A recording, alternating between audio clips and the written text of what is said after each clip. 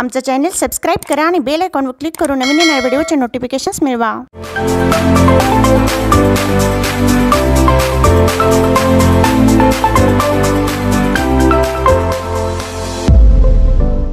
नमस्कार विद्यार्थी मित्रो.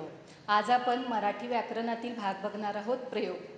याआधी तुम्ही प्रयोग म्हटल्यावरती तुम्हाला आठवत असेल ती प्रयोगशाळा. प्रयोगशाळेमध्ये तुम्हाला तुमच्या मॅडमांनी सरांनी दाखवलेले प्रयोग. अर्थातच मग त्यानंतर तुम्ही वहीमध्ये काढलेले त्याची क आकृती त्याचबरोबर साहित्य साधने कशा प्रकारे तो प्रयोग केला त्यातून कोणतं अनुमान निघालं निष्कर्ष हे पाहिलं असेल. पण आज आपण जो प्रयोगाचा भाग बघणार आहोत तो म्हणजे मराठी व्याकरणातला भाग आहे. तो म्हणजे प्रयोग. तुमच्या विज्ञानमध्ये असणारे ते प्रयोग वेगळे आणि हा आपल्या मराठी व्याकरणातला भाग आहे प्रयोग. साधारणपणे आपण नेहमी बोलत असतो बोलत असताना आपल्यामध्ये वेगवेगळी वाक्य आपण वापरत असतो. मग या वाक्यांमध्ये वेगवेगळे शब्द असतात. म्हणजेच काय? ते शब्द म्हणजेच काय असतात? कर्ता कर्म क्रियापद. मग मराठीमध्ये यामध्ये प्रयोगाची व्याख्या अशी येते. वाक्यातील कर्ता कर्म व क्रियापद यांच्या अर्थपूर्ण किंवा सुसंगत रचनेलाच प्रयोग असं म्हटलं जातं. बघा पुन्हा एकदा सांगते. वाक्यातील कर्ता कर्म क्रियापद यांच्या अर्थपूर्ण रचनेला किंवा सुसंगत मांडणीला प्रयोग असे म्हणतात. म्हणजे वाक्यामध्ये कर्ता आला कर्म आलं क्रियापद आलं. मग हे वाक्यातलं कर्ता कर्म क्रियापद आपल्याला ओळखता आलं पाहिजे. त्यासाठी आपण एक उदाहरण बघूया. इथे एक उदाहरण दिले तुम्हाला. मुलगा पुस्तक वाचतो. ज्याच्याकडून क्रिया घडत असते तो म्हणजे करता. म्हणजे इथं वाचण्याची क्रिया घडतीये अर्थात ती कुणाकडून घडतीये? मुलाकडून. म्हणजेच मुलगा हे काय झालं? या वाक्यातला कर्ता झाला. आणि मग मुलगा काय वाचतो? पुस्तक. म्हणजे पुस्तक हे झालं कर्म जर मी तुम्हाला मुलगा पुस्तक म्हटलं तर वाक्याचा अर्थबोध होतो का? नाही. मग ज्यावेळी तुम्हाला मुलगा पुस्तक वाचतो म्हटलं जातं त्यावेळी तुम्हाला तो मुलगा काय करतो हे कळतं. म्हणजेच वाक्याचा अर्थ पूर्ण करणाऱ्या क्रियावाचक शब्दाला क्रियापद असं म्हटलं जातं. त्यासाठी एक सोपी पद्धत आहे. ज्यावेळी आपण क्रियापदाला कोण काय असे प्रश्न विचारतो त्यावेळी आपल्याला वाक्यातलं कर्ता कर्म मिळत असतं. बघा इथं दिलेलं आहे. तुम्हाला म मूळ वाक्य आहे मुलगा पुस्तक वाचतो. यावेळी आपण क्रियापदाला प्रश्न विचारला. कोण वाचतो? तर उत्तर काय मिळतं आपल्याला? मुलगा. म्हणजे मुलगा हे या वाक्यातील कर्ता झाला. काय वाचतो? पुस्तक. म्हणजे पुस्तक हे झालं कर्म. आणि कोणती क्रिया चालू आहे? वाचण्याची. म्हणजेच वाचतो हे झालं या वाक्यातील क्रियापद.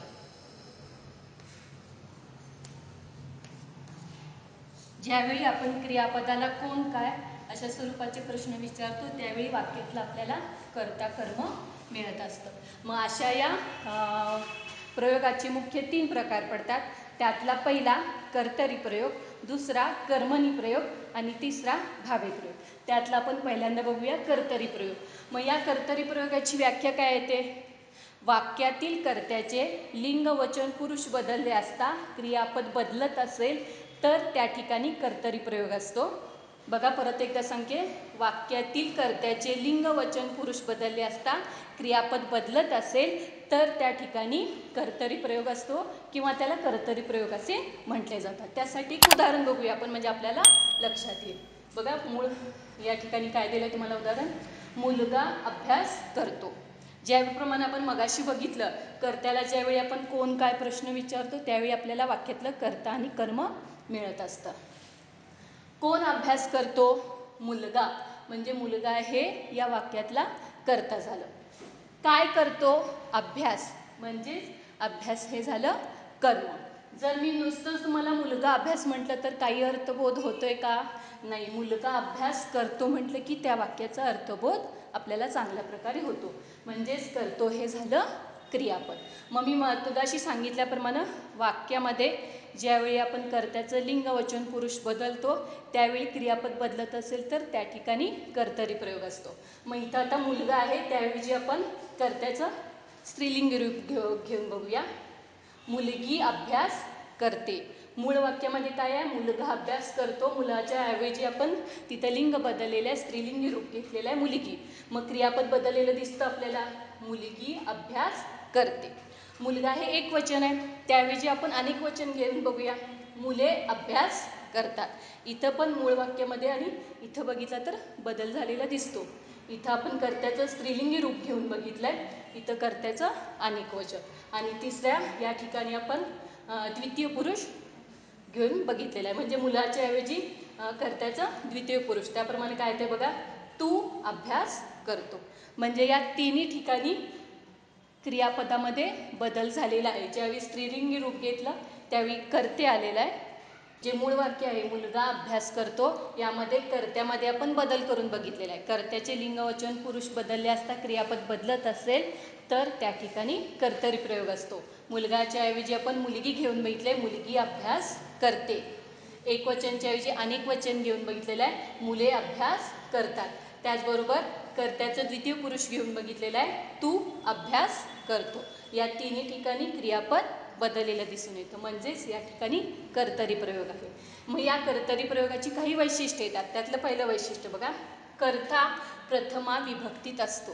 कर्तरी प्रयोगामध्ये जो कर्ता असतो या वाक्यातला जो मुलगा आहे तो कर्ता हा प्रथमा विभक्तीत असतो.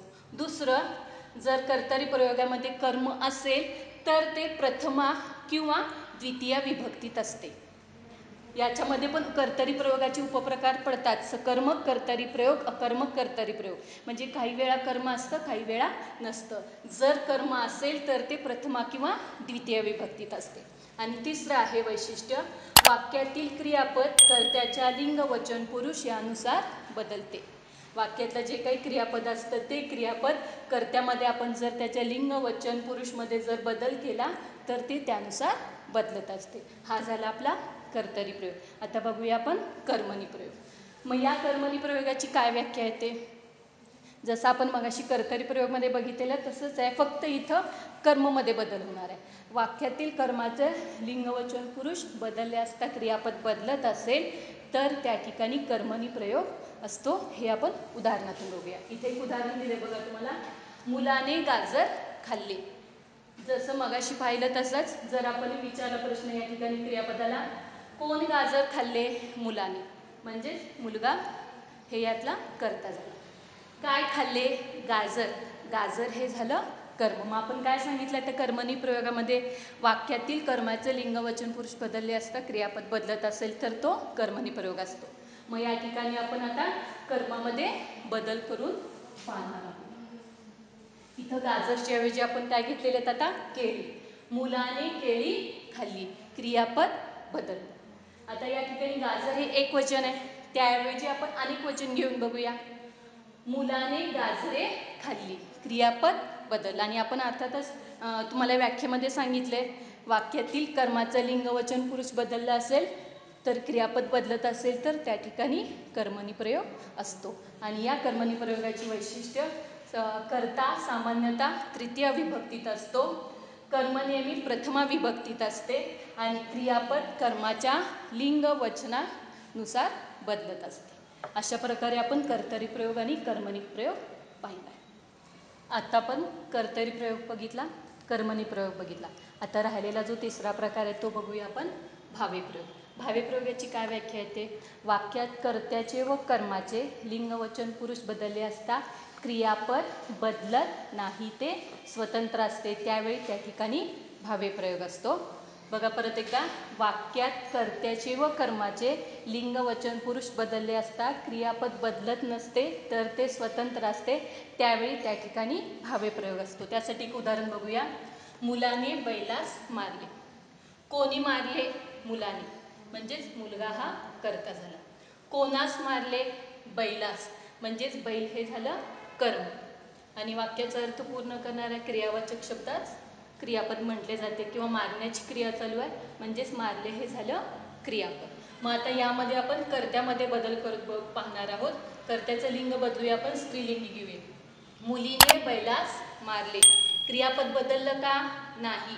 जे मूळ वाक्यामध्ये आहे मुलाने बैलास मारले ते इथं क्रियापद तसंच राहिलेलं आहे. जरी आपण कर्त्याचं लिंग बदललं तरी. आता कर्त्याचं वचन बदलून बघूया. मुलगा हा एक वचनी आहे त्याच्याऐवजी अनेक वचनी घेऊन बघूया. मुलांनी बैलास मारले. इथं देखील क्रियापद बदललेलं नाही आहे आता जे कर्म आहे त्या कर्मामध्ये बदल करून बघूया. इथं आहे मुलाने बैलास मारले. याऐवजी आपण बैल हा पुल्लिंगी झाला त्याऐवजी आपण स्त्रीलिंगी रूप घेऊन बघूया गाईस.